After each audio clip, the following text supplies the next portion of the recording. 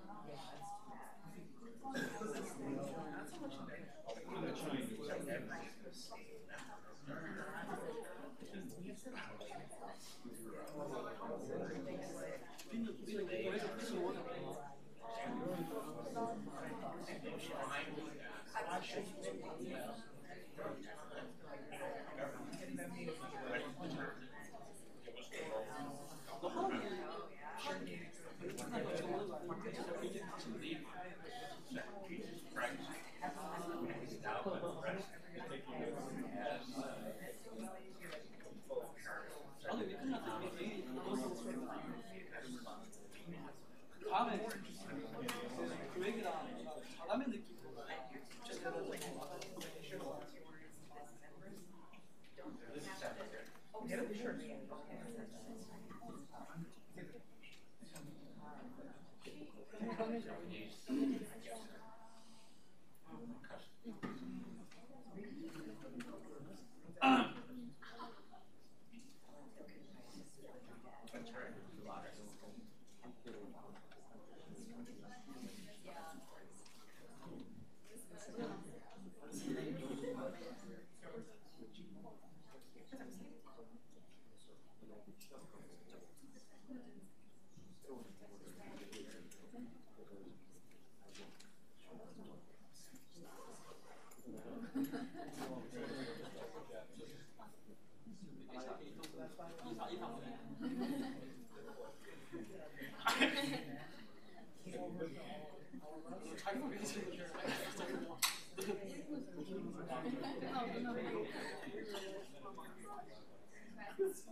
중에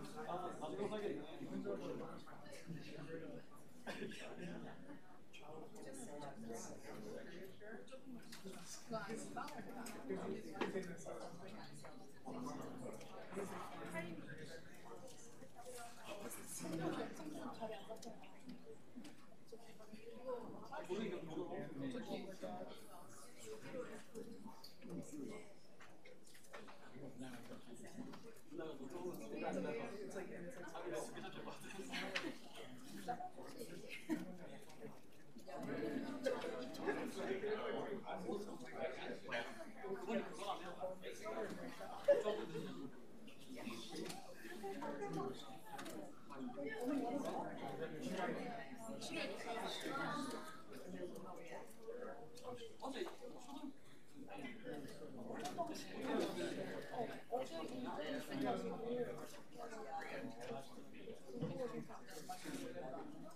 对。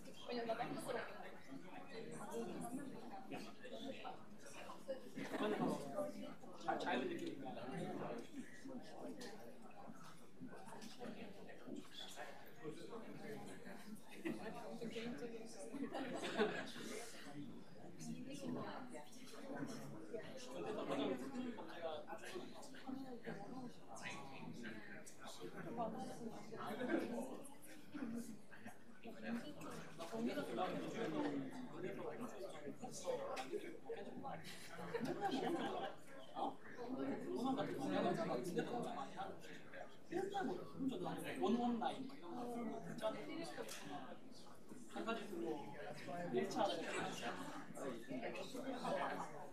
긴장이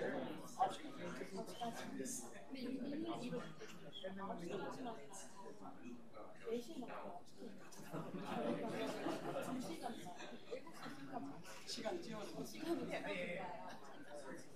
그게 뭐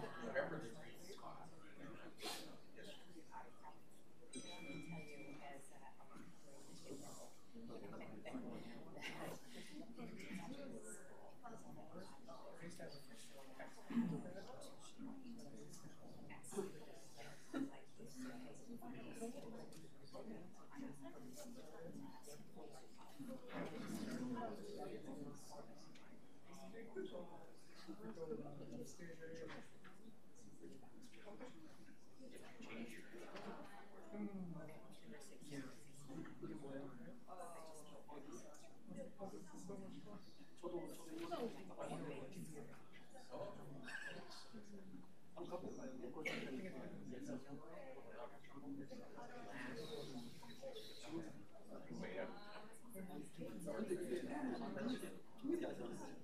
시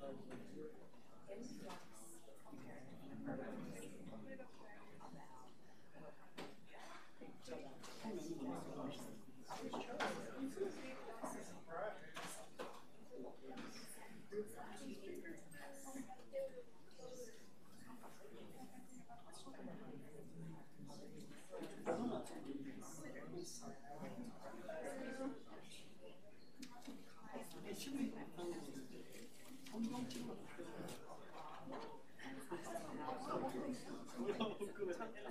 you.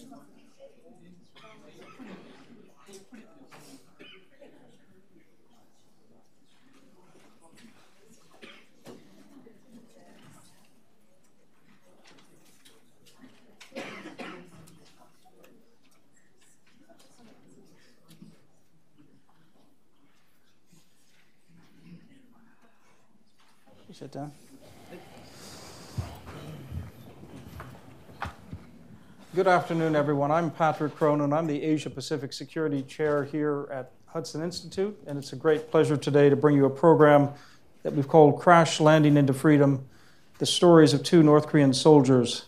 This is a very serious subject. I'm poking fun, though, with this title a bit with the recent K drama uh, about the South Korean heiress that paraglides into North Korea and falls in love with a North Korean soldier. That's K drama. This is going to be more the reality version of what it's like to uh, crash out of North Korea uh, into freedom. Um, in a few minutes, we're going to be joined by Congressman Ted Yoho, and we'll interrupt our program. Uh, but the congressman was in a very important meeting, and we're going to see uh, at what point uh, he arrives, uh, how we can how we can interrupt the program. Um, I think for the United States policy on North Korea, the intensive focus, obviously, the past couple of years in particular, has been predominantly on the nuclear and missile issues. And there's no doubt that when you're engaged in diplomacy with an adversary, uh, you sometimes put aside other values and interests. And there's no doubt that the human rights issues have been given short shrift in general um, because of the need to try to prioritize uh, the security issues. But in reality, they're all connected. Um, and when it comes to torture, arbitrary detention, the denial of freedom of expression, movement, religion, and the right to life, North Korea has, in the words of the UN uh, Human Rights Inquiry, no parallel in the contemporary world. Uh, everybody knows this in the policy world. It was reaffirmed at a personal level by uh, Cindy Warmbier here last May, the mother of uh, Otto Warmbier, when she said that North Korea is a cancer on this earth.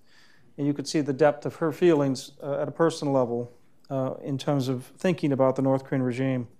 I think the stories we hear today are going to reinforce the concerns about the human rights uh, questions and uh, atrocities, really, out of North Korea.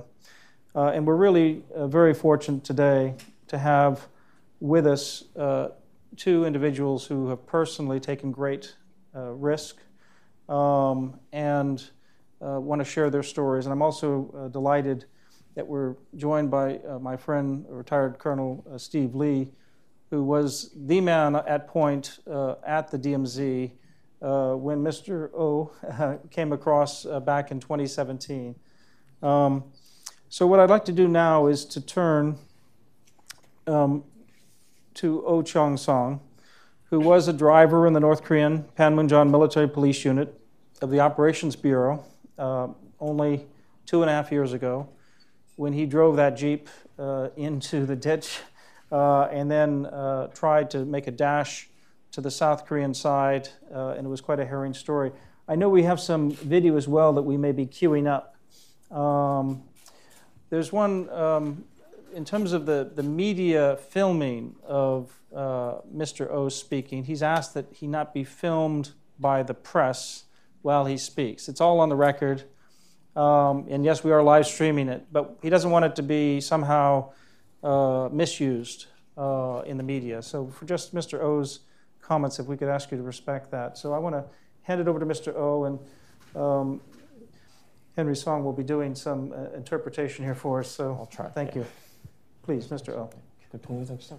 아, 네, 일단 지금 나와서 어? 얘기하는 게 네, 앉으시니까 앉아서 동영상 근데 어? 시청 때문에 좀 can- 그렇지는 Oh, 않을까요? she's saying our heads are gonna be blocking the, the screen, so. I think it'll be fine. 아, It'll be 괜찮아요. fine. 아, 그래요? 네. They'll be watching it. 아, 그럼 그냥 It's- 얘기. it's on the 네, video. 안녕하세요. 저는 이제 2017년 이제 대한민국 귀순했고요. 그래서 올해 이제 2년 이제 좀 넘은 상태고요. 그래서 어 저희 고향이 이제 항역도 개성입니다. 그래서 개성하게 되면 옛날부터 이제 고구려 때 뭐 이제 그 개경이라고 해서 또 한- 한반도의 수도였기도 하고 네, 그런 고향 이제 개성에서 태어나서 아, 네, 24년간, 5년간 이제 살다가 이제 대한민국 귀순했고요. 또 귀순하는 과정에 또 JSA를 통해서 또 뭐 세계적인 이슈적 이슈화 이제 돼가지고 저큰 사고 뭐 이제 사고는 사고인데 네, 총 다섯 발을 이제 맞으면서 네, 기순을 했고요. 그때 이제 CNN 영상이 있는데 함께 이제 시청하고 네, 다시 얘기하도록 하겠습니다. Good afternoon. My name is Oh Chung Sung. I escaped North Korea in 2017 to South Korea, and I've been in South Korea for about two years now. And I was born and raised in Kaesong, uh, which was the old capital of uh, the Korean Peninsula many uh, uh, a long time ago. And um, so when I and I so when I was about 25 uh, years old is when I escaped from North Korea through the uh, JSA Joint Security Area, and that obviously became a big uh, issue worldwide. And I got shot five times uh, by AK-74 bullets, and I'm going to show a brief CNN clip. uh, that- 47, maybe. AK-47, sorry, Yeah. AK-47 uh, uh, bullets, and uh, we're going to show a very short CNN clip, and we'll go from there. So, Polka, You're right.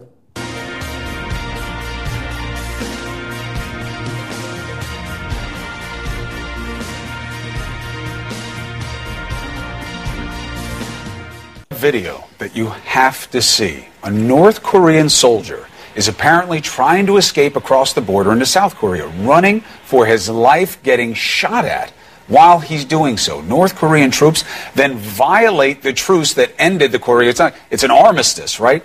Uh, what did they do? Well, they opened fire across the border. They chased the soldier. CNN's Anna Coren has more from Seoul.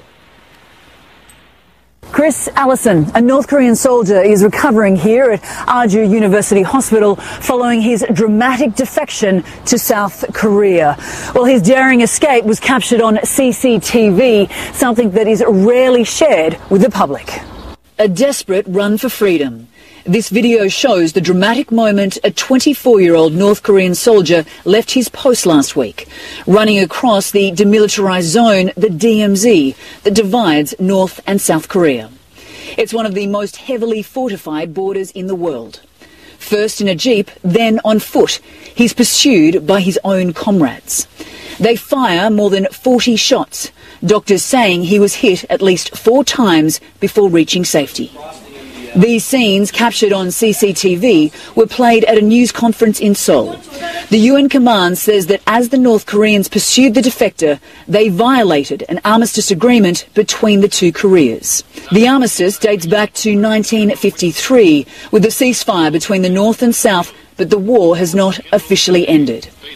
US Forces Korea claim the North Korean People's Army, or KPA, fired across the military demarcation line and that one soldier crossed it briefly during the incident. UNC personnel at the JSA notified KPA of these violations today through our normal communication channels in Panmunjom and requested a meeting to discuss our investigation and measures to prevent future such violations. When the North Korean soldier arrived here at Ajou University Hospital on the outskirts of Seoul, he'd already lost more than 50% of his blood and was unconscious with barely a pulse. Doctors say he'd suffered gunshot wounds to his chest, shoulder, arms and abdomen. And by the time he reached the operating theatre, he was almost dead. And in his intestines, doctors found large parasitic worms, one nearly a foot long. After multiple surgeries, doctors say he is now conscious and able to talk. He and I have spoken a lot, and I feel that this North Korean soldier defected to South Korea of his own will. The soldier is the third member of the North Korean armed forces to defect this year. Now, the US led UN command has notified the North Koreans of the armistice violations and demanded a meeting. No comment yet from the North Koreans about this latest defection. Kristen Allison, back to you. What a story. What a video. Anna Coren, thank you. Imagine with freedom. And also well, a little bit of a window into the fragility of the situation. And here we are today. 아, 네. 그래서 저는 이제 뭐 어느 이제 뭐네 발이라는데 총 다섯 발 이제 몸에 맞았고요. 그래서 뭐 맞은 이제 문제는 다리 쪽이랑 이제 팔 쪽, 그다음에 이제 잔등 이제 심장 쪽으로 들어서 앞쪽으로 이제 간통을 했고요. 그러니까 모든 총상이 네 발은 간통하고 이제 한 발은 이제 척추 쪽으로 들어가서 이제 내장 쪽으로 이제 일곱 군데 파열하면서 이제 한 발 이제 내장 쪽에 박히고 그때 이제 서장을 이제 절단하고 네. 어, 여러 군데 이제 심장 쪽에도 한발 맞고 해서 총 다섯 발 맞았습니다. 지금 뭐 영상에서 보다시피 이제 뭐 40발에서 최소 50발을 이제 북한군이 이제 발사를 했고 또 이제 정전 협정 위반이고 또 이런 JS 쪽에서는 원래 AK 같은 거 서지가 이제 금지인데 북한군 쪽에서는 이제 AK를 이제 금- 서지를 하고 있었고 그다음 저도 이제 JS에서 한 1년 정도, 1년 6개월 정도 근무를 했었는데요. 어, 근무를 하면서 보면 이제 정전 협정 위반되는 이제 사항들이 이제 어, 많다고 생각을 합니다. So the uh, CNN clip said I got shot uh, four times, but it's actually five shots, uh, uh, five bullets that I got shot with. I got hit in the leg, arm, the back, and one entered near the kidney, and one, uh, so four bullets, and then one was also uh, found lodged near my uh, spine, uh, near my intestines. So uh, the surgery was done in that area as well. And as uh, the CNN clip said, uh, 40 to 50 shots uh, were fired at me. And uh, in, according to the uh, armistice agreement, uh, the North Korean soldiers cannot be carrying uh, rifles such as the AK-47 uh, uh, in the uh, JSA area. But as you saw in the video clip, they were found to be carrying that around and running around looking for me. And so I myself was posted at the JSA for about a year and six months. And there were actually many violations of the agreement, armistice agreement, when, while I was serving. 네, 이제 수술 당시를 이제 조금 더 이제 설명드린다면요. 어, 제가 그때 이제 어, 한국 쪽에 이제 쓰러져 가지고 그때 출혈이 너무 심했어요. 제가 이제 다 간통상 네 발이 간통상이다 보니까 출혈이 너무 심했고 그때 이제 거의 제 이제 북한에서 이제 살면서 이제 제 몸에 있던 피는 이제 다 흘렸고 네 그때 이제 그러니까 제가 이제 북한에서 살면서 이제 제 몸에 축적돼 있던 피는 이제 북한에 흘리고 대한민국 기순에서 이제 아주대학교 병원에서 네 12,000cc 이상을 이제 대한민국 국민들 피를 이제 수혈 받았었고요. 네, 그 과정에 이제 15일 만에 제가 의식을 차리고 네, 처음으로 봤던 게 대한민국 태국기였습니다. 그때 제가 안도의 숨이 쉬어졌었고 북한에 있을 때 북한 인건기에 대해서 어떠한 감정이나 의식도 없었는데 처음으로 보는 태국기가 저한테는 너무도 이제 가슴에 와닿았던 이제 그런 기억이 있습니다. So after I collapsed on the South Korean uh, side of the uh, the uh, JSA or the DMZ, I the blood loss was so severe um, that uh, uh, basically all my North Korean blood was uh, shed when I was lying down there, and then when I was transferred to Ajou Hospital. they had to transfer almost 12,000 cc's of South Korean blood. So hmm. my body was filled with South Korean blood. Um, I woke up after about 15 days, and the first thing that I remember seeing was the South Korean flag, the Taegukgi. And I remember just breathing a sigh of relief. And what's interesting is that when I was in the North Korean military, uh, when I looked at the North Korean flag, I don't recall feeling any uh, sense of emotion or anything like that. But when I saw the Taegukgi, when I saw the South Korean flag, I remember just feeling a great uh, sense of relief. 뭐 여러분도 알다시피 총을 이제 한 발 맞으면 사람들 상식적으로 다 죽는다고 생각을 하는데 제가 이제 다섯 발씩 맞으면서 그것도 이제 대한민국으로 기순하게 된 이유는 어, 네, 그 자유 예, 두 글자 때문에 이제 기순을 하게 됐고요. 그 자유가 저한테는 너무도 소중했고 네, 저는 결코 이제 북한에서 이제 못 먹고 못 살고 생활이 어려워서 탈북한 것은 아닙니다.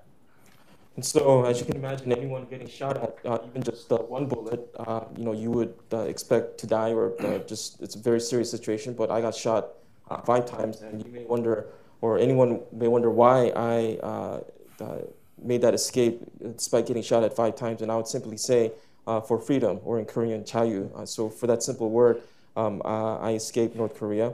And uh, I did not uh, grow up in North Korea uh, be, uh, being very poor or, or uh, just having a very uh, miserable experience. 아, 네.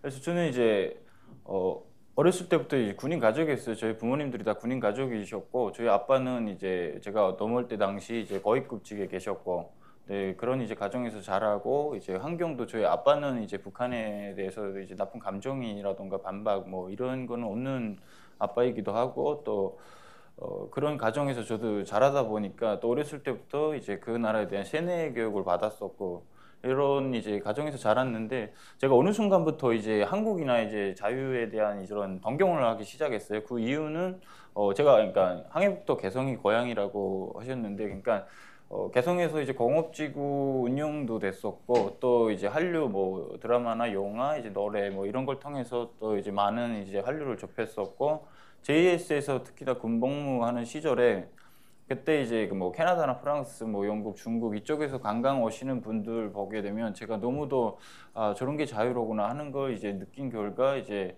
어느 순간부터 이제 자유를 좀 동경하게 되었었던 것 같아요. So my parents were both military officers, so I grew up uh, pretty well off compared to the rest of the North Korean uh, population. Uh, my uh, father had uh, was high-ranking officer, and he had uh, no negativity or feelings towards the regime, Uh, towards the North Korean government. And I grew up having been uh, yeah, growing in that situation. I was uh, propagandized or brainwashed into believing everything that the government taught me. And so, from an early age, I grew up not suffering or uh, going through what uh, most other North Korean uh, people went through. And as I mentioned earlier, my hometown is Kaesong in North Hwanghae province. And so in Kaesong is where these um, the factories and industrial complexes were formed. And the Hallyu or the Korean wave, there was more exposure to the outside or South Korean uh, things uh, compared to other parts of the country. And even when I was uh, employed, stationed, or posted at the JSA, um, I had a chance to see numerous Western uh, tourists, Canadians, French, or what have you, uh, tourists visiting uh, the area, and I saw how freely, uh, even though they were uh, traveling to the North Korean side, how freely they were able to walk about and, and act. And I realized looking at them that, wow, this is what freedom of speech. So that's when I began to have a somewhat favorable outlook regarding South Korea. 네, 지금 이제 한국에 이제 저희 이제 고향 분들이 3만 명 이상이 이제 정착하고 계시고요. 뭐 물론 미국, 뭐 영국 이제 각 나라들의 지금 저희 이제 고향 분들이 탈북을 해서 네, 정착하고 계시는데 어 그분들 저 같은 경우는 진짜 특이한 케이스로 세계적으로 이슈화되면서 왔었고 또 자유라는 두 글자를 저는 이제 몸으로 제 몸으로 이제 증명했다고 생각을 합니다. And so there are 30,000 North Korean defectors that have resettled in South Korea, and many defectors have resettled in the US, uh, the UK, Canada, and elsewhere. And uh, I myself uh, am a unique situation, obviously, because uh, I did not uh, uh, go through the typical way that other defectors took in terms of escaping North Korea. And I would say that my body is a witness to the, the journey that I took in my escape from North Korea to freedom.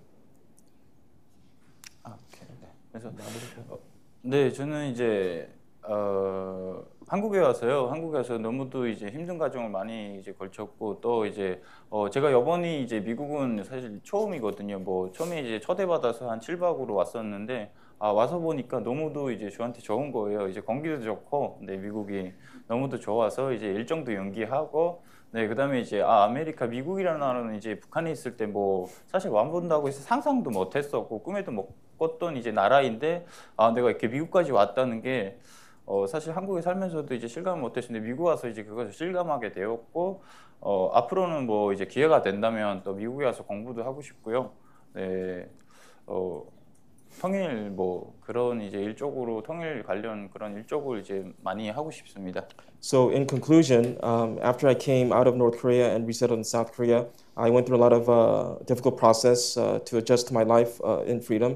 And so, even coming to the US, I was invited to visit uh, some uh, acquaintances in uh, the West Coast. And it was only going to be a short trip, but I had the opportunity to be invited to come to the East Coast, uh, to uh, Washington, D.C. And coming here to the US, uh, it's so nice to be here. First of all, the clean air, breathing the clean air is so refreshing and it's, so, it's such a difference. And um, when I was in North Korea, I never imagined that I would, be, I would be able to travel to the US and visit. Uh, even in uh, living and working in South Korea, I never uh, thought that I would be able to make time out of my busy schedule to visit uh, the US. Uh, but I'm actually in the US when I actually came to America and I experienced all the things around me. And hopefully in the future, if the opportunity uh, is there, I would like to visit the US to further my studies and contribute myself to making unification of the peninsula happen. 네, 어, 뭐 이렇게 오늘 귀한 자리 이제 초대해 주셔서 너무 감사하고요. 부족하지만 또 이렇게 함께 해주셔서 너무 감사합니다. And I'd like to thank uh, Dr. Cronin and Hudson Institute for inviting me and Mr. Lee uh, to this uh, really important uh, stage for me to share my story. And so thank you very much. Well, Mr. O, it's a great pleasure to have you. Thank you.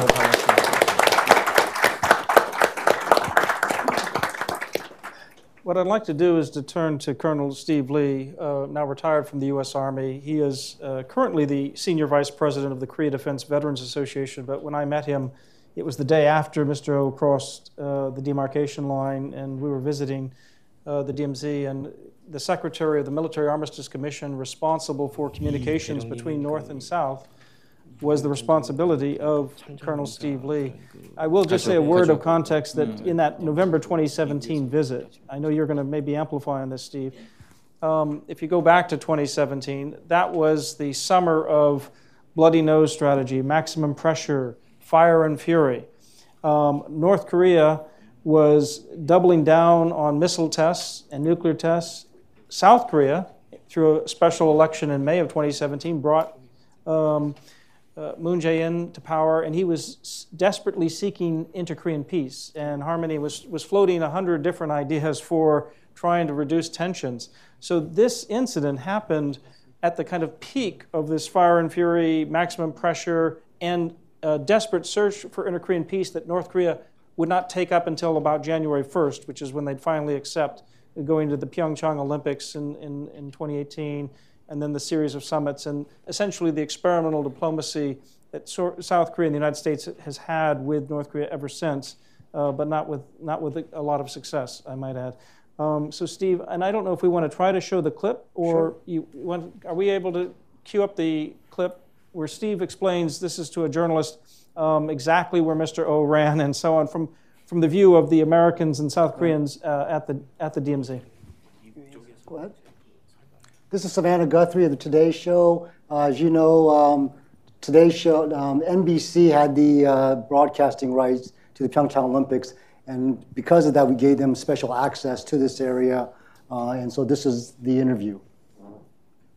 And now to something that's hanging over these games, of course, the North Korean crisis and that country's standing in the world. President Clinton once called the DMZ the scariest place on earth. We visited it today with the help of U.S. Army Colonel Stephen Lee, Secretary of the United Nations Command Military Armistice Commission. We were given an exclusive moment by moment account of one North Korean soldier's bid for freedom across and you see the video of it. He was driving. He was driving. This morning, NBC News is the first Western news outlet to get a glimpse of the path that a desperate North Korean soldier took when he made a mad dash for freedom.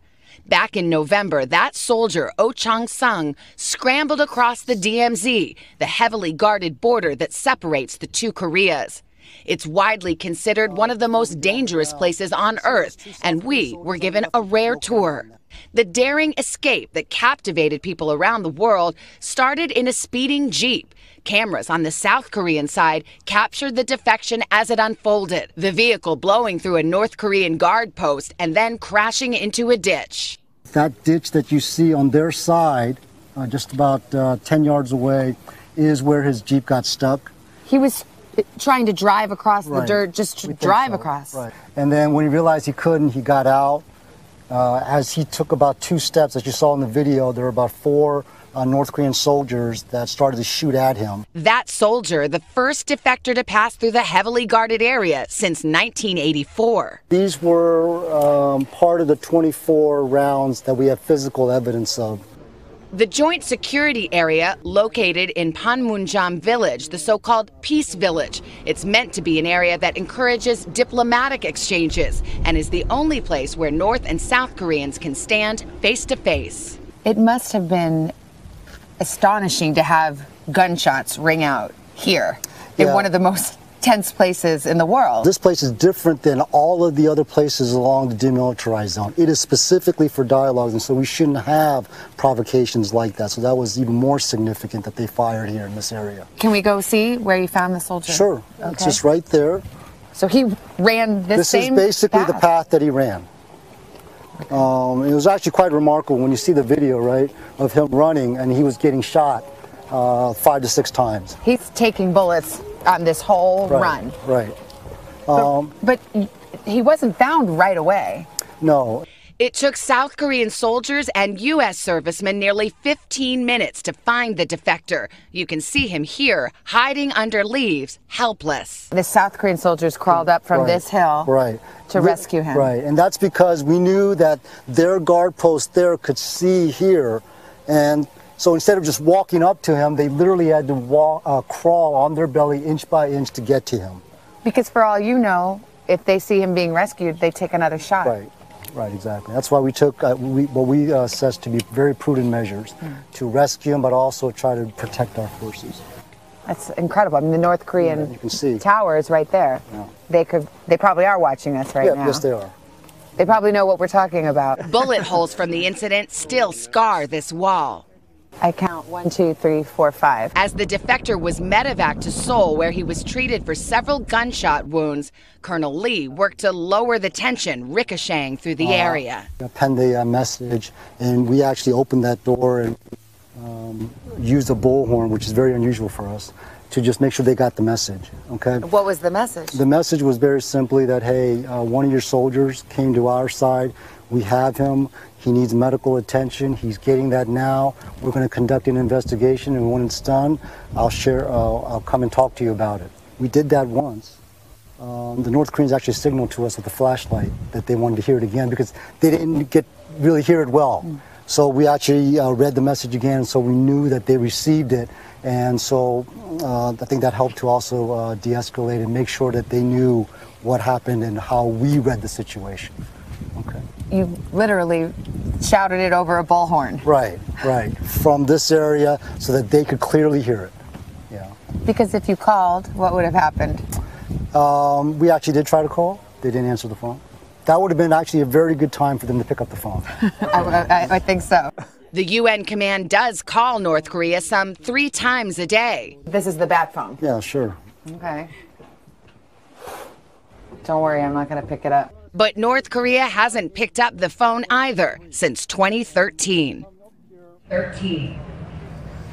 That's it, it, that's incredible. So, the access and the kind of peek behind the curtain. The 13th of November 2017 was a Monday, and that's significant. I don't know if Mr. Earl knows this or not, but our soldiers work over the weekend on Saturday and Sunday for education tours uh, for all the um, tourists that come up there. And so Monday is normally a day off for our soldiers, and so they're, on our side, there aren't tourists there.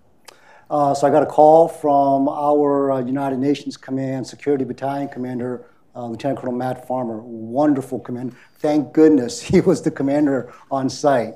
Uh, just telling me about what was happening. This was around 3 o'clock in the afternoon on Monday. Uh, and we just talked about some uh, emergency procedures, and I agreed with his assessment that we need to understand what's going on because we don't know if this is just one incident out of many going on in the DMZ. Okay?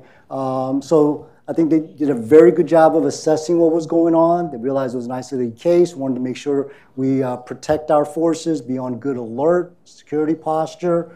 Um, and then after that, uh, we started working immediately on crafting a message to my North Korean counterpart uh, that I am supposed to negotiate over incidences like this. And as you saw in an interview, per our SOP, we try to call them um, just to let them know, hey, this happened. We want you to know that we, we have him. He's okay. We're not trying to do anything unusual. We just want to make sure that both sides understand the situation so we can de escalate. Uh, again, it would have been great if you picked up the phone, but because they didn't, we took the extraordinary measure of opening that door where we have people there 24 hours a day specifically to talk with the North Koreans and use the blowhorn. Again, at that time, you got to understand this is a very unusual thing, right? This is an area for dialogue. No rifles were supposed to be in there, let alone fire. So we didn't know um, what we should do for um, force protection measures other than just take prudent measures. That's why we actually opened the door slightly and used the bullhorn. And it was extraordinary in that the North Koreans communicated with us by, with flashlights saying, and the way we interpreted obviously is, hey, we, can you repeat that? I don't think we got that clearly. A um, couple of points that came out of this. Um, a lot of people uh, in Korea had a knee jerk reaction of, hey, how come the South Koreans, our forces on our side, didn't fire back? Okay? As you saw, it was really quick. I think it lasted about 11 seconds, about 40 rounds. And as you, you can see, the North Koreans were as surprised as we were, right? You could tell by their poor marksmanship and the way that they reacted. Right? So clearly, our side, we're trying to just gauge, and by the time they fire, stopped firing rounds, there was nothing to fire at. Okay? So again, very important lesson learned for all sides was understand what's going on before you decide that you just want to fire back because shots were fired in your direction. Okay? That was a point that I emphasized to both the uh, South Korean Minister of National Defense and the Unification Minister who came within one week of this incident happening when I when visited their, um, the uh, location. Uh, the other part of it was, hey, we were actually very lucky and this is a question that I would uh, pose to uh, Mr. O, is did he know that he was coming on a, do- a day when there are no tourists? Because think about it. If we were in the middle of a tour group of 50 people, how this situation could have been uh, unfolded much differently, right? Because that's an area that we directly, some of y'all actually been there. Um, and so again, the importance of having good uh, SOPs, great working relationships between the U.S.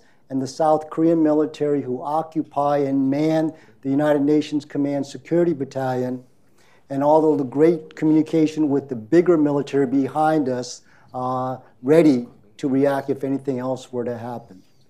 Um, so from uh, again my perspective, did you know that that uh, the day that you came was a Monday when we wouldn't have tourists on that side? 예, 그날 그 탈출하셨을 때 그날은 그 미국 쪽에서는 관광객을 받는 날이 아니었거든요. 그거를 어, 알았는지 되는 뭐게 그거는 이미 전에 이제 저는 알고 있었고, 그러니까 제가 거기서 1년 이제 넘게 군복무를 하다 보니까 그건 알고 있었고, 우리 측은 이제 토요일 쪽이 관광객이 없는 날이거든요. So I knew that since I was uh, the posted in that area, and I knew about the the American or the South Korean side of uh, uh, their schedule in terms of accepting the tourists Yeah, and, yeah. and things like that. For us, for the North Koreans, uh, t- Saturday was the day that we didn't uh, have tourists. So did, did you deliberately pick Monday, or was that just the day of opportunity for you? 그래서 그냥 일부러 그, 그걸 알고 월요일 날 그날 택한 거. 나는 그냥 어, 일부러는 사실 아니었어요. 음. uh, not it was not on purpose that I picked uh, that day, but it's just Yeah. the coincidence that it was a Monday. Um, again, uh, you know, from my perspective, I was so thankful that it did happen on a Monday when there wasn't. Because think about it, Patrick. If they came on the day you came, we would have been taking some actions. And Yeah. indeed, in the in the context of the, the maximum pressure strategy and all that had happened uh, and not had happened on diplomacy with the North Koreans, the concern about rapid escalation was very real. In fact, was this a provocation from the North to scuttle inter Korean peace even before it got started? Or conversely, had you fired back and, and shots are fired, what does that do for any chance for diplomacy? And then finally, your attempt, Steve, to try to de escalate and just how long that took to try to communicate with the North was also a huge lesson. And, and, and that's the preparation. This was in a microcosm, a real world situation where you could have rapid escalation, I mean, 11 seconds, and then try to de escalate and try to make sure that you don't make this uh, an incident that causes outright war and conflict. Um, and when you have missiles at the other end of these uh, militaries, uh, it puts this all into perspective that this is a very important flashpoint. And, and being in, in Korea at the time and visiting you even the next day, it was palpable in the air just how much tension there was at the DMZ. Did you want to add anything right now, Steve? Because I, No, wanted to ask. Mr. O um, about what he did expect. I mean, they, there were shoot to kill orders, standing orders, I think, on the part of the North Korean military. Um, so, were you expecting to be fired at? Was that part of your plan, or were you hoping to drive across so quickly that no shots would reach you? 그 오영재 원래 기억은 아, 아, 이제 그 계획은 차를 그 집을 몰고 그 남한 쪽으로 갈 계획은 아니면 그 어떻게 그러니까 그 북한군이 아, 이렇게 일단은- 넘어가면 이렇게 총을 음. 맞는다는 그런 각오를 하고 이제 그 뛰어넘으죠. 아, 뭐 그 영상 이제 전부터 이제 총을 사격을 했었고요. 어, 일단은 뭐 총을 쏘는데 그 이제 맞고 싶은 사람은 또 어디 있겠어요. 그래서 제가 차로 이제 넘어가려고 했었는데 또 차 앞바퀴가 배수로에 빠졌던 상황이고 아, 네. 그래서 이제 제가 내려서 네, 한국 쪽으로 이제 네, 뛰었던 상황입니다. So uh, in the video, the, that's, that wasn't shown. So as I was driving the jeep uh, towards uh, on the road, passing the guard post and on the bridge, that's when I was getting shot at also. So uh, my original, pla- of obviously nobody wants to get shot at. So my original plan was to take the jeep all the way into South Korea. But as you saw in the video, uh, what happened was that the, the wheel got stuck in the ditch, and I had no choice but to get out of the jeep and, and run. Mhm. And when you when you decided to drive that jeep to try to cross, was that spontaneous, or was this something that you thought today's the day I'm going to do this, or was it this is the moment I'm going to do this? I mean, how much ahead of time had you thought about this? 아, 그 크로네 박사 질문이 그날 그 집을 운전하고 이제 탈출할 하셨을 때 그게 그냥 우발적으로 그냥 그아난 집을 타고 탈출하겠다라는 생각이 들었는지 아니면 그런 계획을 오래전부터 하고 계셨는지요? 아, 뭐 그날 이제 뭐 타- 그러니까 귀순하려고 계획을 오래전부터 했던 건 아니고요. 어, 그날 이제 상황이 조금 안 좋아져서 이제 같습니다. 네. So uh, in order to answer that question, uh, I wasn't planning on uh, you know taking the jeep and escaping that day, but uh, there were some things that happened personally between uh, my colleagues and I that led up to uh, just me making that decision to uh, uh, make that uh, escape from North Korea to the south. Well, needless to say, it took a lot of personal courage, and we want to hear more about this. But I, I think we should, Henry, turn to Mr. Lee Unggil because he's he'd been in South Korea for another ten years, I think, in, in addition, but has his own uh, story to tell as a former member of the North Korean People's Army's 11th Corps Special Forces, the Storm Corps. um, and he is now a member of the North Korean People's Liberation Front in addition to his day job. Um, but he very much helps think about uh, former soldiers trying to come to freedom, and so he can provide his story as well as some maybe perspective on what Mr. O is facing uh, in the, his future. So.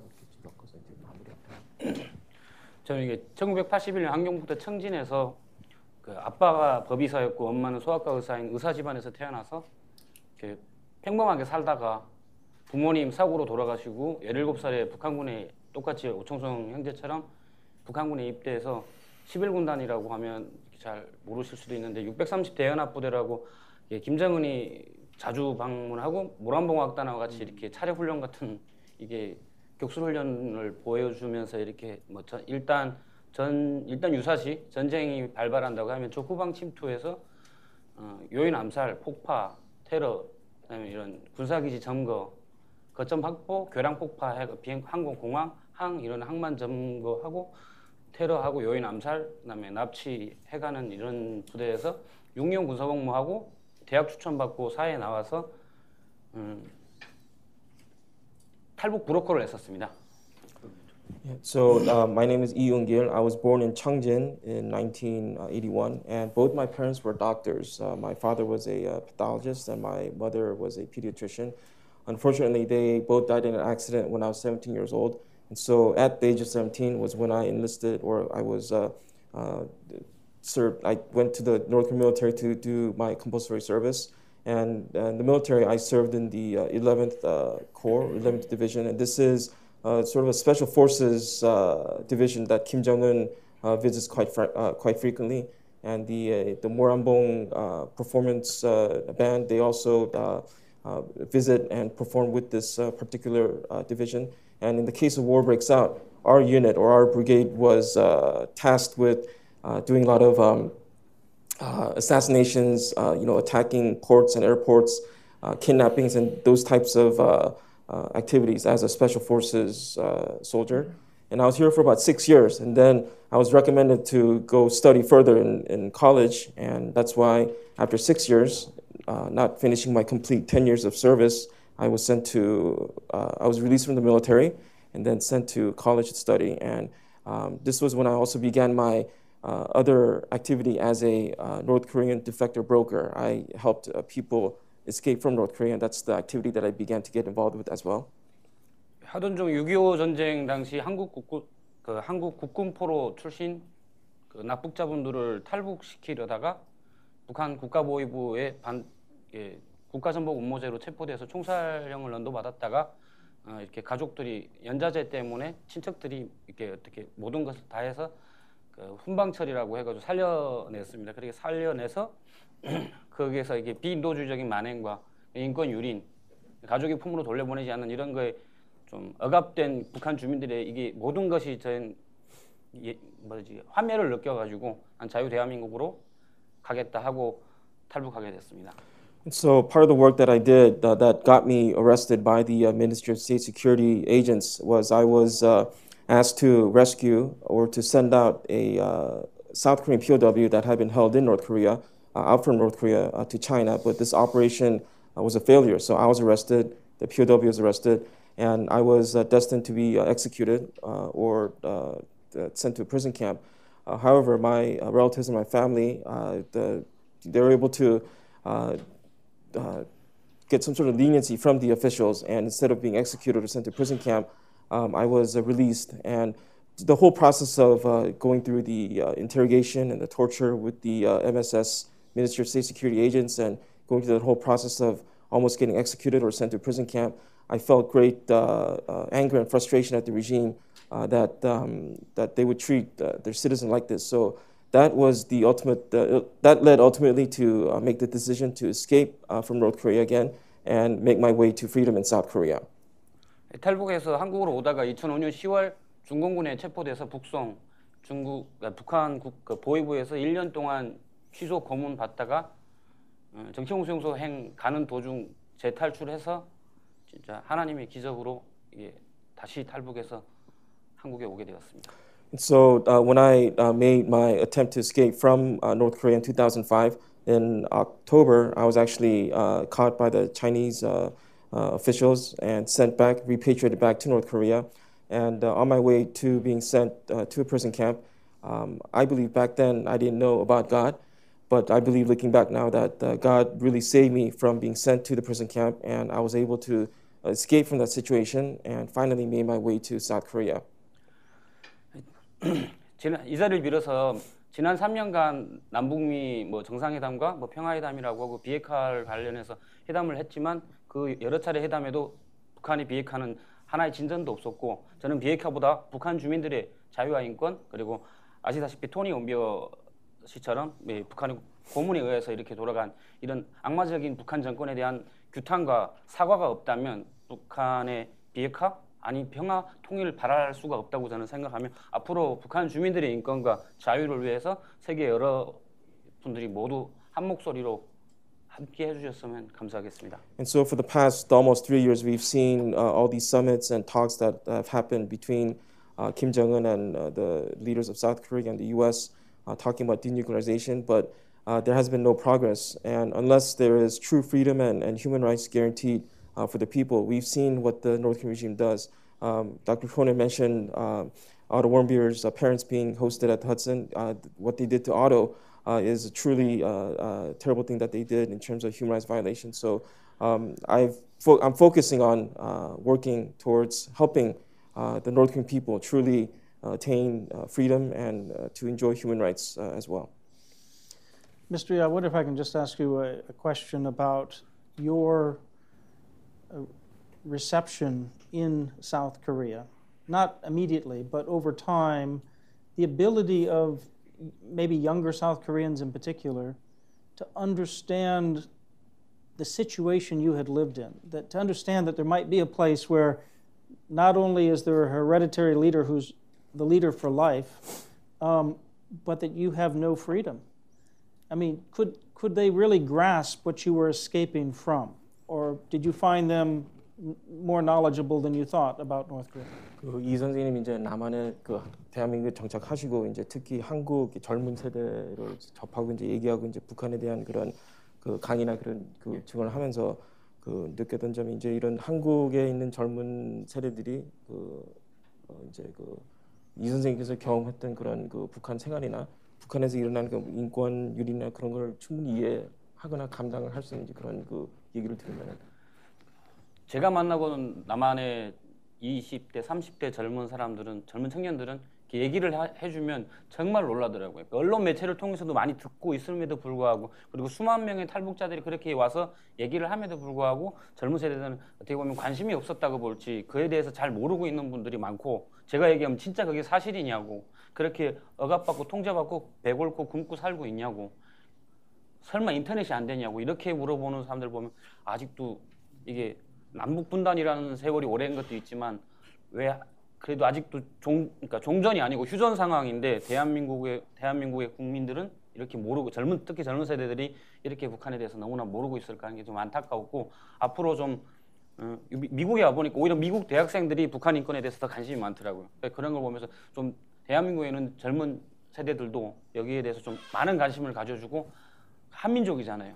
그들이 겪고 있는 아픔도 우리가 같이 그 고통을 좀 알아주고 같이 힘을 내라고 좀 이런 활동도 같이 해주면 감사하겠습니다. So in my experience, uh, in my interactions with South Koreans in their 20s and 30s, uh, when I talk to them about my experience or talk to them about the reality of what's going on in North Korea, uh, they are really surprised to hear uh, my story or hear about uh, what I tell them about North Korea, despite the fact that North Korea or defectors are talked about in the media and that there are 30,000 defectors in South Korea.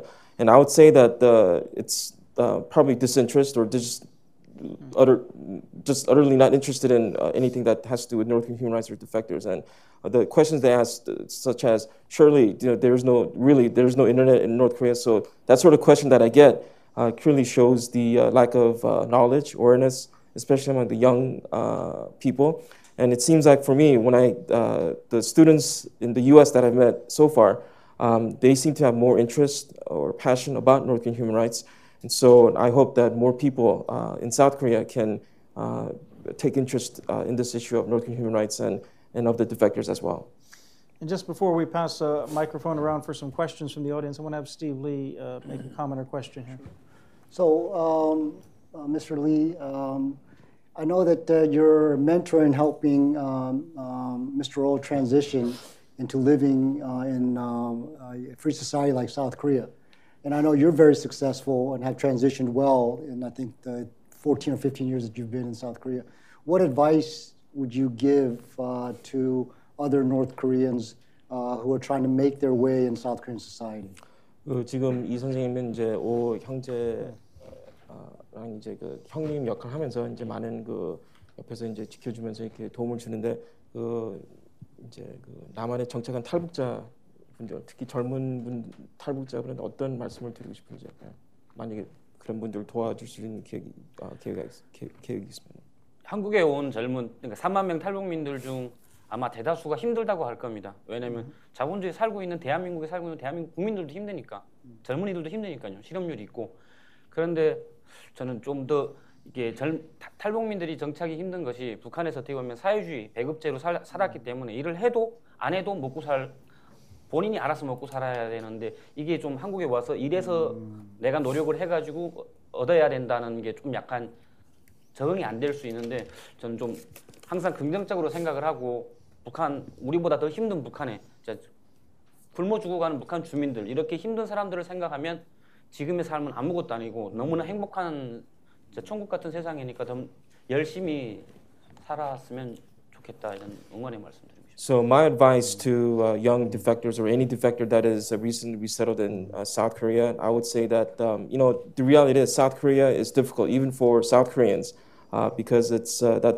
type of society. So I would say that uh, for defectors, because we come from a socialist uh, background where everything is provided in a public distribution system. So even if we didn't work or did work, we would get the same as if somebody did work. So that sort of mindset is uh, um, sort of a wall that prevents many defectors from uh, trying to uh, uh, do well when they resettle in South Korea. So I would tell them, you know, have a positive, optimistic outlook. You know, South Korea may be difficult, but it's heaven compared to where you came from in North Korea. So uh, work hard and you know really try to make the best of your new opportunity here in South Korea. And that's the advice Uh, that I would give uh, to uh, a defector that's recently resettled in South Korea. Awesome. Thank you. It's good advice. We have a microphone and there are questions, and we'll start right up here up front.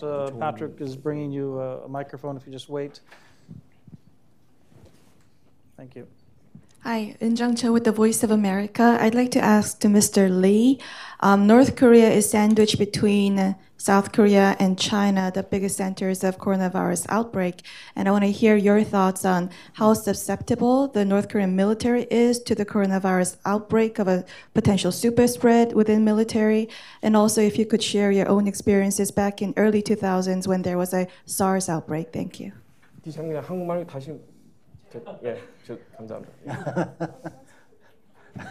Your own interpretation. 네, 저 미국에서 우리 조은정 기자인데요.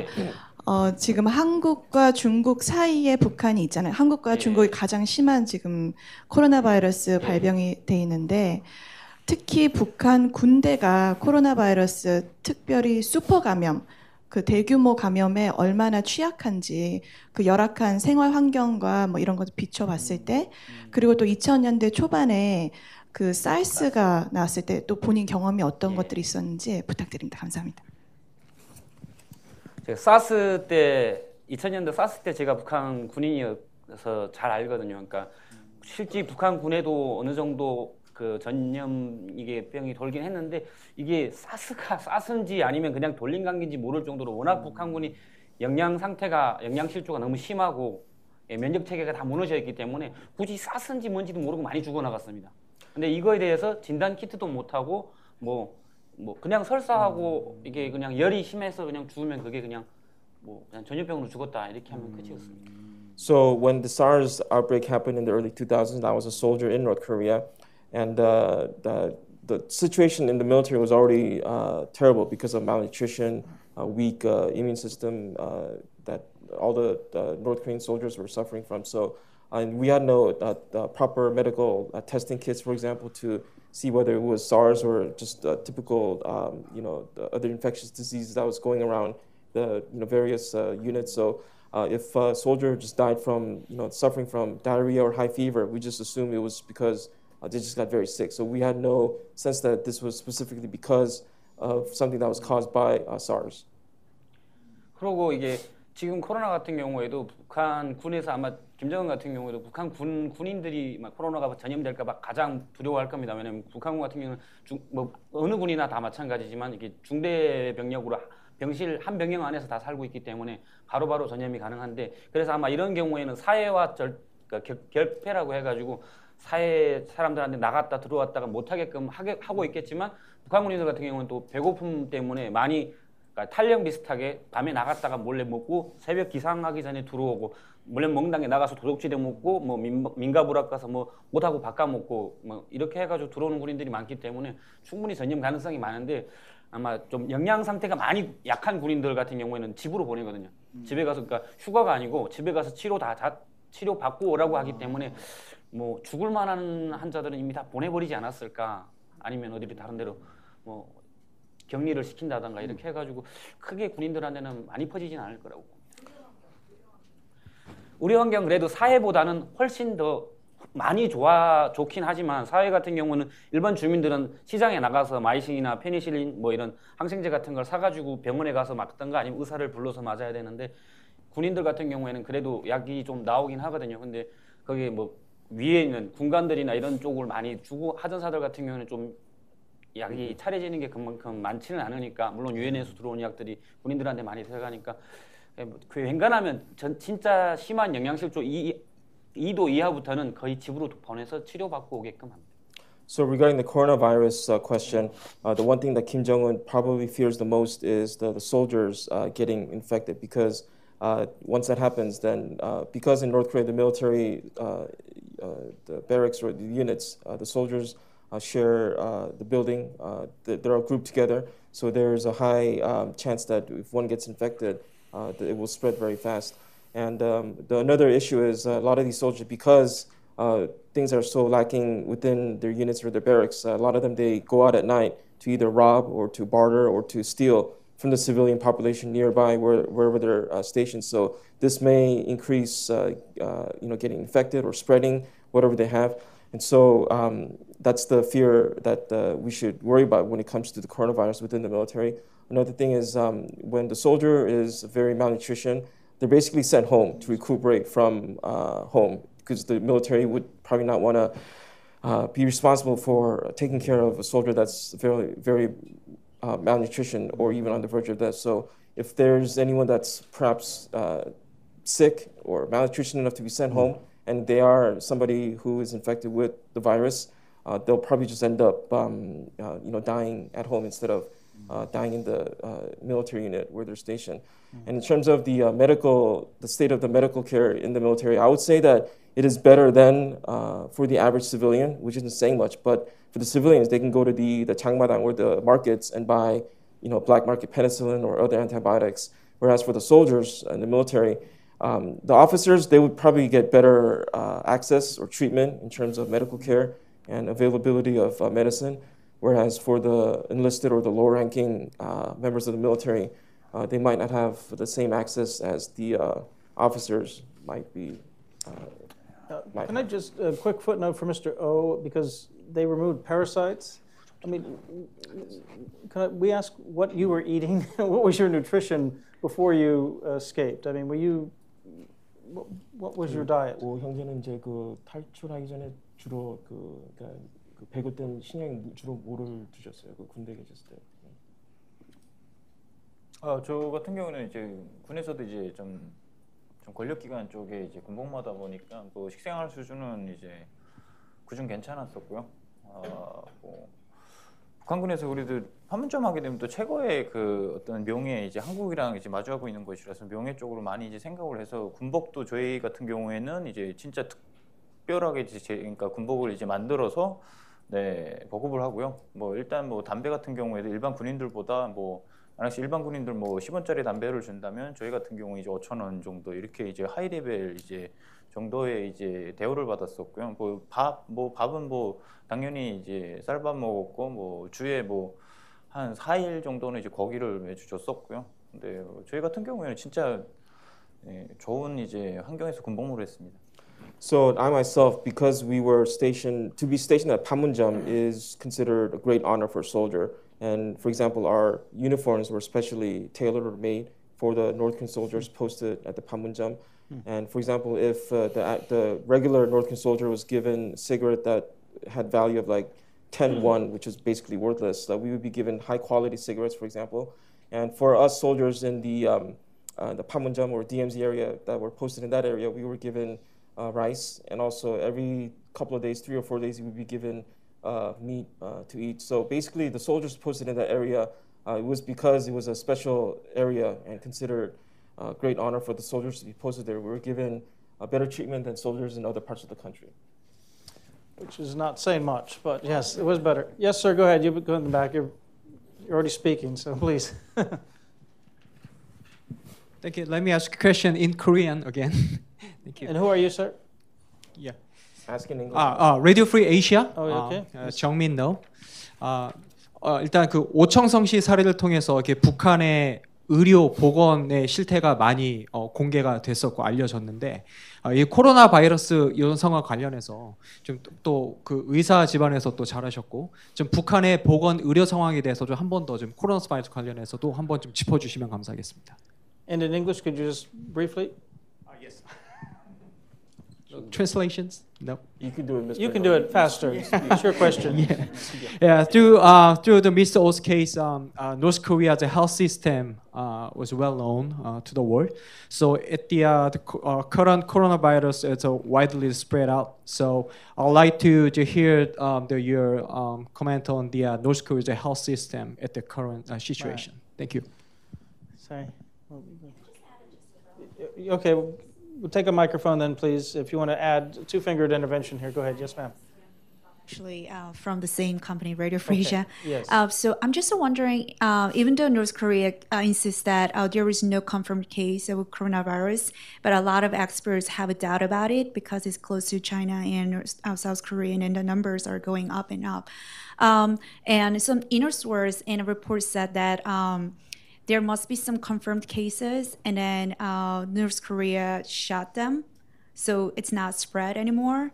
And or kind of um, if if there is any um, that cases, and then they they kind of um, the f- fire them. So covered like up, it's not, covered yeah, up cover the cases? yeah. I mean, so there are two So- parts of this, right? One of them is that the North Koreans may have cases of the coronavirus and not yet tested those cases. So they may not know who's who's contagious. Yeah, but then you're saying if they did find them, maybe they've covered it up. Even you're saying executed 네, them. 그러니까 뭐 지금 코로나 바이러스 없다고 하지만 사실 뭐 그 북한 내부 소식통이나 뉴스에 보면 지금 뭐 걸린 사람을 총살했다 아니면 그런 그렇게 해서 뭐 폐렴으로 사망한 사람을 화장을 해서 그러니까 아예 그게 스프레드 되 그러니까 감염되지 못하게 전염되지 못하게 한다고 하는데 그 전에 뭐 여러 가지 뭐 아까 말씀하신 뭐 사르스나 이런 거에 봤을 때 혹시 그런 실제로 좀 케이스가 있었는지 그러니까 이런 거 커버업 하기 그러니까 아, 밖으로 새어나지 않, 않게 하기 위해서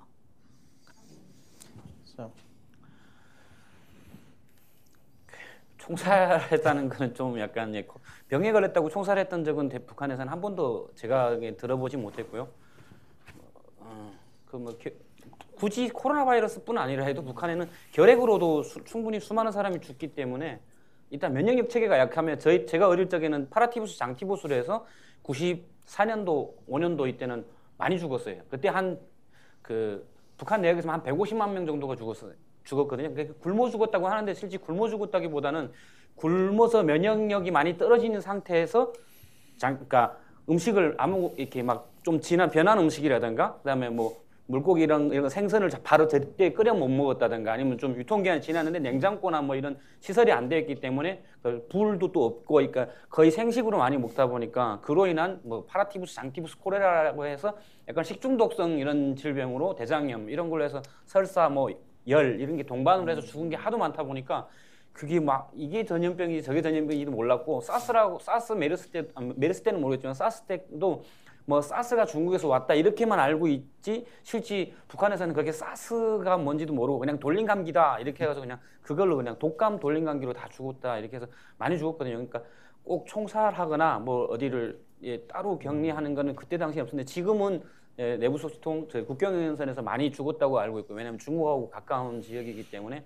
많이 죽어나갔다고 얘기를 하, 듣고 있고 실질적인 뭐 증거 자료나 이런 건 없지만 뭐 경, 격리를 따로 한다거나 아니면 어디 수용소처럼 이렇게 따로 이렇게 격리병동으로 끌고 가는 건 있어도 총살이나 화장은 제가 아직 예, 전혀 못 들었습니다.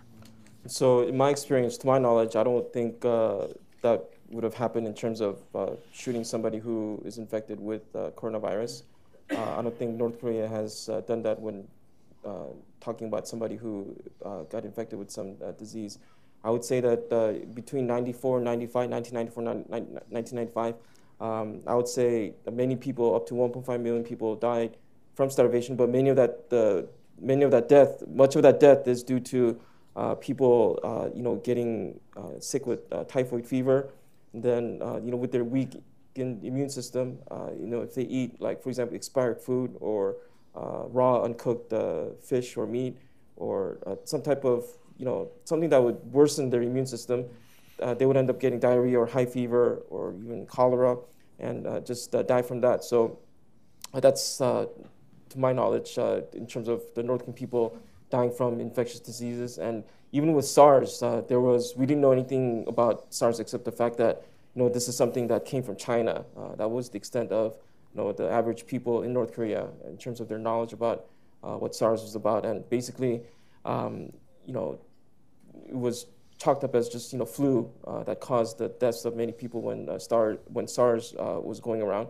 And regarding the current coronavirus uh, situation, I've heard from some of my network uh, in the border area between North Korea and China that there are many people that uh, have died, according to them. Of course, there's no way to verify what they say, obviously, but I've also heard that um, there are special quarantine areas for these North Korean citizens that are known to have uh, become infected with uh, the coronavirus. Um, we've got a couple of questions right here in the front. These two gentlemen, we can take both of them first, and then we still have time. But uh, so yes, Ali, thank you. I'm uh, Peter Humphrey, an intelligence analyst and a former diplomat. Uh, we try and get information into North Korea using the radio stations, uh, Christian radio stations. Um, we smuggle these things in through uh, balloons and uh, water in a bottle along the coast. Um, and of course, things come across the Chinese border uh, through smugglers. Which of these things did you two guys see personally while you were in North Korea? And in your opinion, what is the most effective technique for reaching the civilian population? 그 이제 그 북한의 정보입이 그 수많은 방법으로 이제 들어가죠. 뭐 어, 단파 라디오나 뭐 USB나 뭐 풍선으로 보내고 뭐 이제 바다로 쌀로 보내고 뭐 그런 그 방, 여러 가지 방법이 있는데 두 분께서 북한에 계실 때 어떤 그 어, 어떤 종류의 그 정보 유입을 통해서 이제 해외 정보나 뭐 남한 드라마나 그걸 접했고 그리고 어, 두분 경험 중에서 어떤 방식이 제일 효과적인 방법으로 북한 주민들을 들에게 이제 정보 유입을 할수 있는지 그거를 물어보시는 지금 두 가지 중. 먼저 할래? 네, 먼저. 어제도 이 질문을 얘기했는데 USB 그다음에 뭐 이게 미디어 통한 한국 드라마 뭐 이런 몰래 듣는 라디오 이런 단파 라디오나 중파 라디오 통해서 듣는 것도 많이 저도 많이 들었습니다. 듣고 보고 했지만 실제 가장 저는 파격 효과가 북한의 주민들이 빨리 변화할 수 있게끔 정확한 전달을 할 수 있는 사람은 3만 명 탈북자들이라고 생각을 하거든요. 이 사람들은 1년에 두 번씩 돈을 보냅니다. 더 많으면 더 많이 보내겠지만 나의 부모, 형제, 처, 장, 처가댁, 장모님, 장인 어르신 살아 계십니다. 그러면 그쪽에 돈을 보내야 되는데 먹고 살라고 그분들에게는 우리가 한 가닥 동아줄이거든요. 그러면 그걸 보내야 되는데 우리가 살기 힘들면 그쪽에 못 보내거든요. 왜 여기도 살기 힘들어? 그러면 그분들은 어떻게 생각했습니까? 아 자본주의도 자본주의는 힘들구나. 근데 저희가 어느 정도 정착을 잘 해가지고 전화를 하면서 아 대한민국뿐 아니고 자본주의 나라는 내가 노력만 하면 열심히 하면 돼, 될 수 있어. 이런 기회가 주, 주어질 수 있는 땅이 돼야 되는데 지금 현재 대한민국과 현 정부 같은 경우에는 탈북민들의 정착 후 뭐 이런 지원 예산 같은 경우도 많이 예, 없어진 걸로 알고 있고요. 그러니까 저는 탈북민 3만 명이 정착이 잘 돼야지 북한 주민들이 가장 빨리 변화할 수 있는 30만, 300만, 3천만이 2,300만이 한꺼번에 변할 수 있는 이런 큰 계기는 탈북민 정착이라고 탈북민 정착이 우선이라고 생각합니다. So in North Korea, I had uh, the opportunity to access uh, CDs and uh, you know, uh, different types of uh, material that were sent from uh, abroad from South Korea. And nowadays, the USBs are the latest uh, way to send outside information. But I would answer your question by, uh, by saying that the, probably the most effective way is to uh, use the 30,000 uh, plus North Korean defectors that are already in South Korea. And what I mean by that, uh, these uh, defectors in South Korea, uh, at least twice or maybe more, uh, twice a year, they send money to their family, relatives back in North Korea.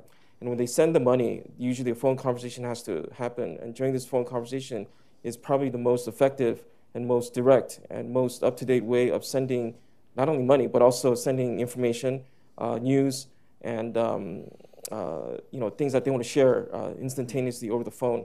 In my case, I have still my in laws uh, in North Korea, so whenever I have the opportunity uh, to be able to connect with them via phone and talk with them, I you know, send them money also, but I also tell them about what's going on in South Korea.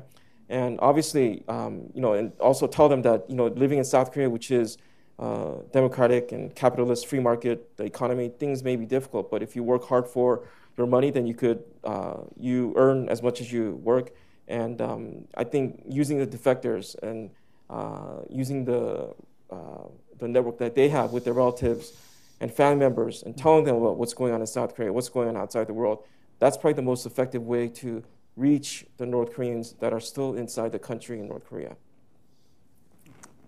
Mis- Mr. O, did you want to add it? Well, One, should I- one, one question for Mr. O is, you know, when you got to South Korea and you finally were well enough to look at the internet that was not um, sort of uh, controlled by North Korea, I mean, were you amazed at, at the amount of information on, on the internet?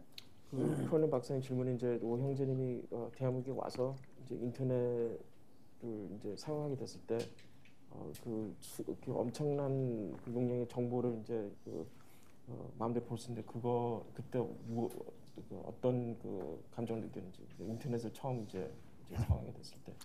어, 일단 뭐 북한에 있을 때는 인터넷 그 이제 예선이 있는데 그게 이제 활용이 되지가 않아요. 그래서 뭐 인터넷이라는 건 원래부터 알고 있었고요.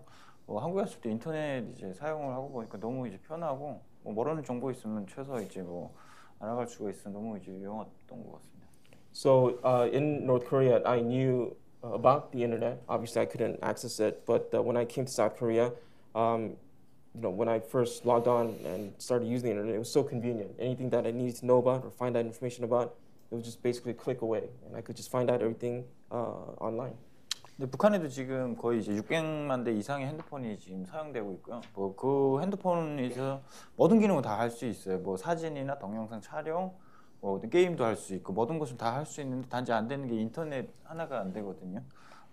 And so in North Korea, there are six million cell phone uh, in usage. Most of it, uh, that's uh, a lot of it is that's approved by the state, and uh, these phones that are um, given or that are approved by the the government, uh, they have every functionality that you can use that uh, we have here in the West. You know, we could take pictures, we could play games, we could shoot video. The only thing is we can't access uh, the internet from these phones. Right. they don't have the new flip phone that Samsung has out in, uh, as well. But anyway, yes, go ahead. Uh, thank you for coming and welcome to America. Uh, my name is Mitsuo Nakai, Japan native U.S. citizen at Reagan Foundation. Uh, two questions. Number one for uh, Mr. O. A big event like this happens, first thing comes to my mind is retaliation.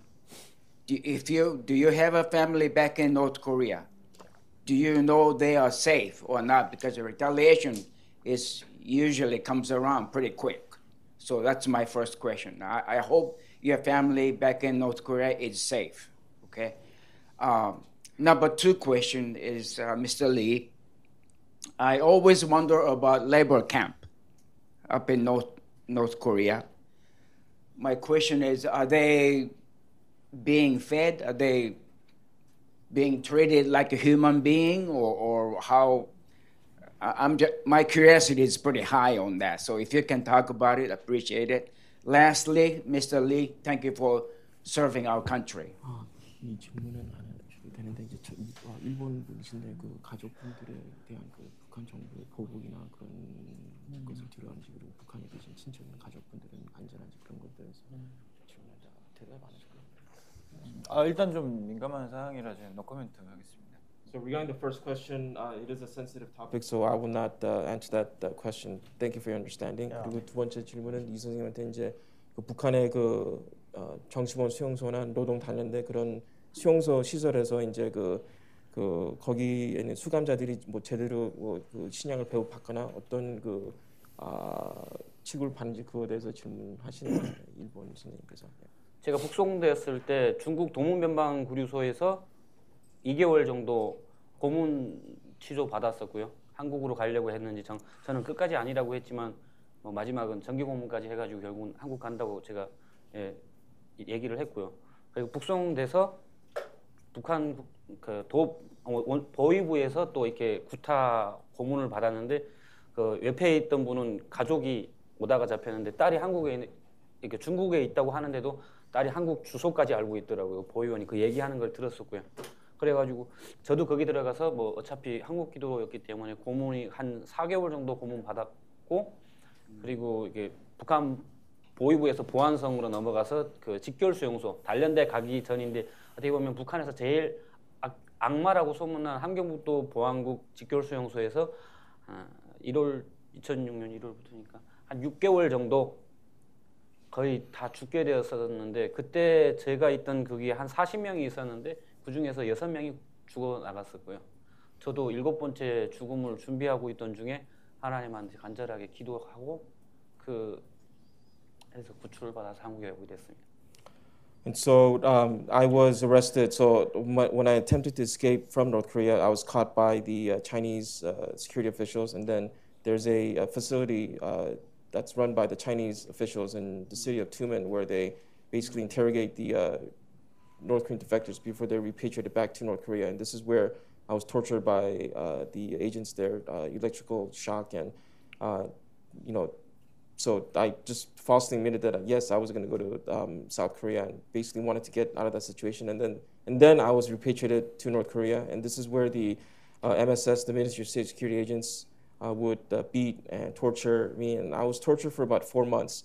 And, um, and then we were sent to what's called a Chipgyol which is basically a holding facility, holding facility type prison camp before they're sent to the proper labor reform prison camp or the political prison camp. And I was here for about six months. And out of the 40 people in our group that were sent, six of my fellow um, inmates uh, died. And I was going to be the seventh person. But I remember praying, as I mentioned earlier in my talk, earlier in the event, I remember praying to God or to a God uh, to let me live and survive. And I believe that prayer was answered, and I was able to make it alive out of that situation. 매일 그러니까 한 200대 이상의 매를 맞았고요. 거의 뭐 그 뭐 몽, 각자 몽둥이부터 시작해서 뭐 어떤 그 가장 그 아픈 곳만 그 급소라고 하는 그 아픈 것만 때려서 기절할 정도로 거의 200대씩 맞았고 정신 차리면 또 때리고 정신 차리면 때리고 하고 맞아, 많이 맞았고 맞는 것보다 더 고통스러웠던 건 진짜 배고픔이었거든요. 그 배고픔은 상상을 할 수 없을 만큼 너무 배고프. 차라리 굶어 죽었으면 좋겠다 싶을 만큼 그렇게 적게 주기 때문에 이 배고픔 때문에라도 다그 고문보다 더 힘든 건 같습니다. And so, um, on average, I would guess, looking back, I probably got hit about 200 times a day. And they, these agents would, or these guards would only hit you uh, the most uh, painful part of your body where you're already injured. And if you lose consciousness, uh, you know, they would wait until you wake up or force you to wake up, gain, regain consciousness, and they would repeat the process and beat me up again. And However, worse than the getting hit or the torture was um, the enduring the hunger. I was so hungry, I literally just wanted to die from uh, the starvation, to just to die. And so um, it's really difficult to describe uh, what the feeling is to uh, suffer from hunger and starvation. But uh, for me, uh, what was worse than the torture and the physical abuse was uh, not having enough food, to suffer the hunger and just being hungry and starved all the time. One can only imagine. Um, I think there's a gentleman in the. Nope, nope. Yes, sir, right here. I'm Jeff Borden. I'm a political military psychologist with the Defense Threat Reduction Agency. Uh, my questions are uh, among the populace, what percentage do you think uh, actually love the Kim regime versus those that realize that they're an enslaved people? And the same thing for your military colleagues. 어, 이 선생님 질문은 이제 일반 시민들 중에서 그몇 프로가 그, 그 진심으로 그 어, 뭐 북한 지도자나 정권을 이제 뭐 신뢰하고 믿고 사랑하고 아니면 그, 그, 그 그리고 일반 주민뿐만 아니라 군대에서도 그 확률이 어떻게 되는지 그 비율이. 군은 어쩔 수 없이 17살부터 세뇌 교육을 시키기 때문에 거의 공, 교- 학교 교육이 끝나자마자 군에 가서 교육받기 때문에 절대 이렇게 수령의 장군님에 대한 이런 게 철저하고요. 그러니까 군 10년 제대하고 오면 그 어떤 바람이 불어도 진짜 뭐 매덕을 주고 몇십억 준다 해도 안 바뀔 만큼 그렇게 강인한 정신력을 키우게끔 되어 있고요. 사회 사람들은 이젠 거의 일반 북한 주민들은 제가 보기에는 한 8, 90%는 시, 그러니까 위대 김, 김일성 아 김정은에 대해서는 거의 이게 뭐 시- 신뢰가 없고 뭐 이렇게 수령 무상화 이런 게 이제 많이 무너져 있는데 그래 그그 무너진 신격화를 다시 만들어 준 계기가 기분 나쁘게도 남북미 회담 정상회담을 통해서 북한 주민들한테 무너져 갔던 김정은의 우상화가 할아버지도 못했고 아버지도 못한 걸 손주가 했기 때문에 어느 정도 올라는 갔지만 곧 그것도 뭐 회담 결국은 마지막은 다 예, 나가리 됐으니까. So regarding the military, uh, because uh, all males at the age of 17 are required to go into the military, um, there's no uh, gap or there's no chance uh, for these uh, young men to have any uh, any opportunity or any uh, exposure to having any doubt against uh, the dear leader or the, the leadership, uh, because you know by the time you reach 17, you've gone to school uh, all your life and you've been taught the brainwashing and propaganda propaganda at school, and then you go straight to the military, which is even more enforced and you know the, it's doled out even greater um, uh, level in terms of the brainwashing and propagandization. So after 10 years of military service, uh, when they come out of the military, um, no matter if they were given, you know, offered money or whatever, they would not budge in the sense of their uh, loyalty or their uh, fealty to the uh, supreme leader or to the uh, North Korean government. Whereas in the general population, I would say now, under the Kim Jong Un uh, leadership, I would say about 80 to 90 percent people uh, would not have uh, real faith in Kim Jong Un. And the idolatry that was prevalent in Kim Il sung or Kim Jong il uh, is probably all gone uh, with Kim Jong Un. However, uh, what sort of restored or brought back that sense of uh, idol worship of Kim Jong Un, unfortunately, I have to say this, uh, would be, in my opinion, the uh, South North Korea summit talks and also the, the summit talks between uh, the US and North Korea because the way the regime has propagandized is that this is something the grandfather and the father, Kim Il sung Kim Jong un, could not do. And yet here's the grandson, the son, Kim Jong un, accomplishing what the neither uh, grand, grandfather or father could not do, which is meeting not only the South Korean uh, leader, but more importantly, meeting the president of the United States.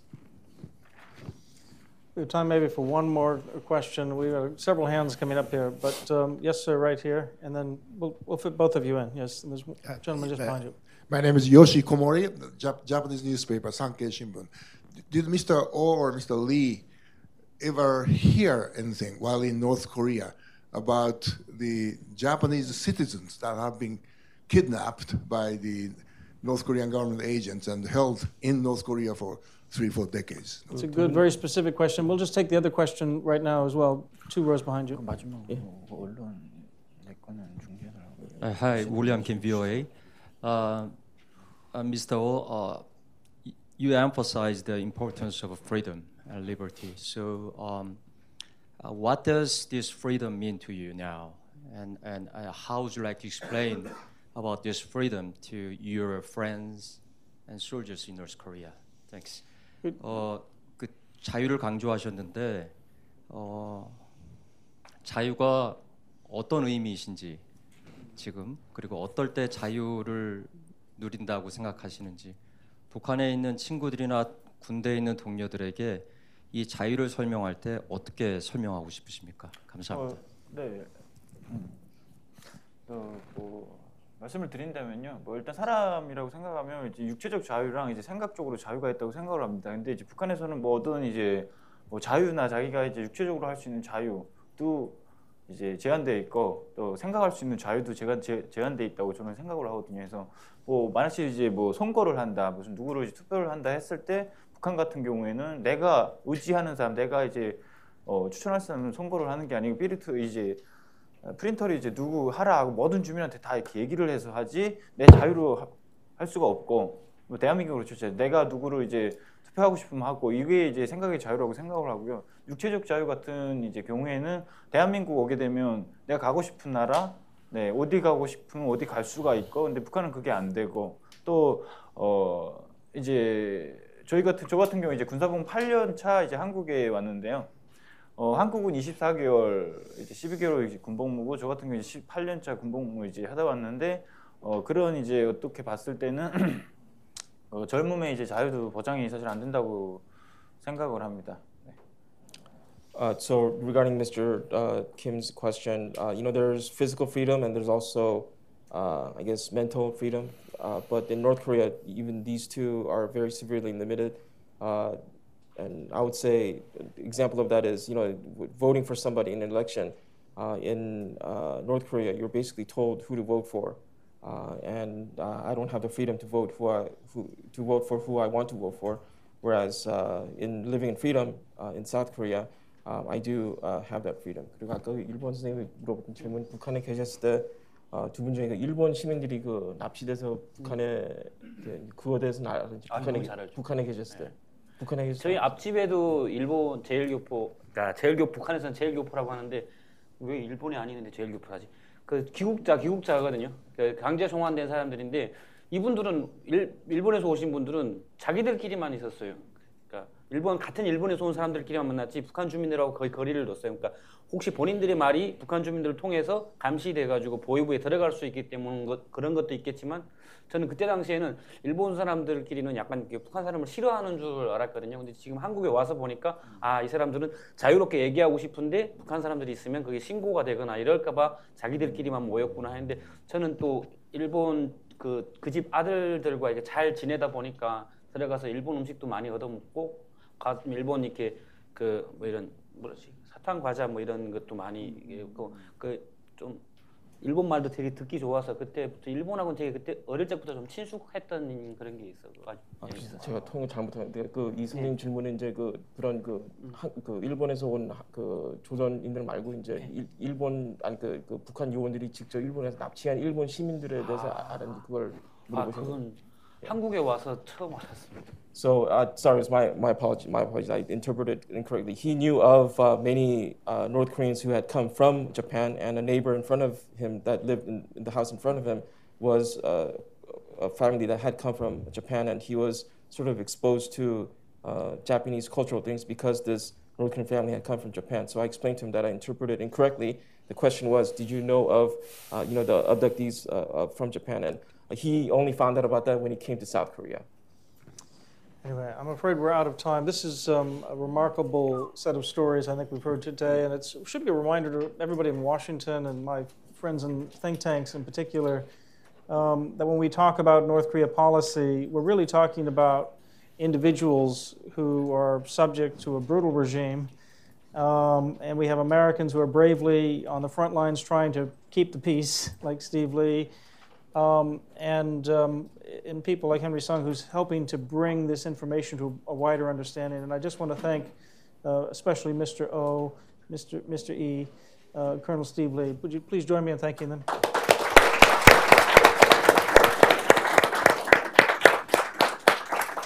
And one more thing, just uh, uh, be mindful of Mr. O's, uh, you know, face or just you know, limit that as much as possible. So if you could uh, understand that regard because of his family, thank you so much. Appreciate it. Thank you.